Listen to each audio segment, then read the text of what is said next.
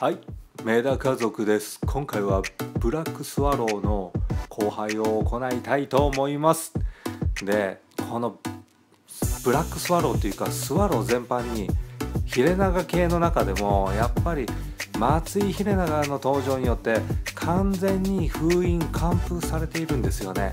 そこでやはり復権を願う人が数人いるんですね。自分の周りでも。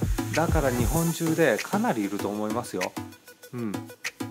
このブラックスワローがスワローの立場を押し上げ押し上げる。そこをみんな狙っているんですよ。いやわからないですよ。本当かどうかこれ。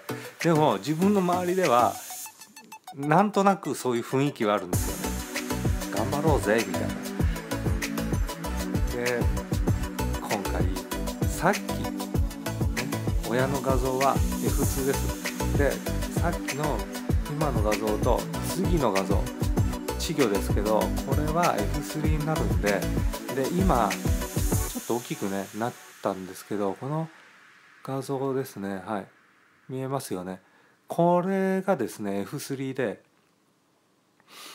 うん数が50から60はまだいると思うんで、うん、怪物級のね競馬界で言えばディープインパクトをね出したいなと思っています。チャンネル登録よろしくお願いいたします。